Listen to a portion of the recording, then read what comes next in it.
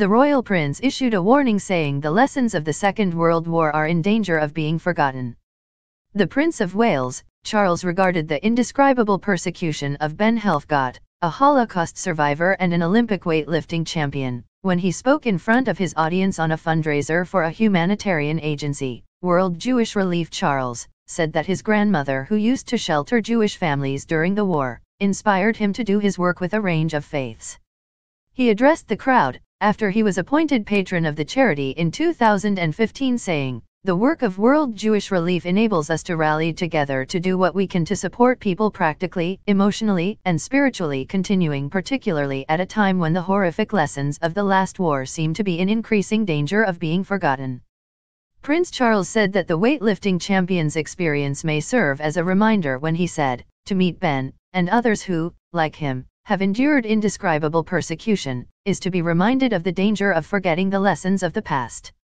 He congratulated the charity on the amazing work that it has done with aiding the impoverished Jews in Ukraine and those who managed to escape the violent deeds in Syria and Rwanda.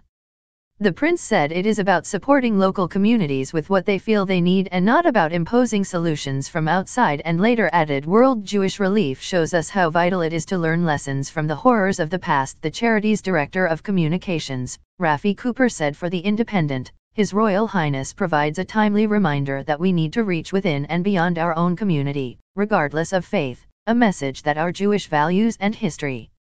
teach us is essential to avoid the horrors of the past being repeated. Some of the people in the crowd saw this reference of the horrific lessons of the last war that the prince made, as a thinly veiled criticism of President Trump.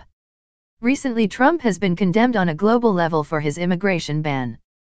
Just this previous week, an executive order was signed by the billionaire property developer, which suspended the U.S. refugee admission system for 120 days.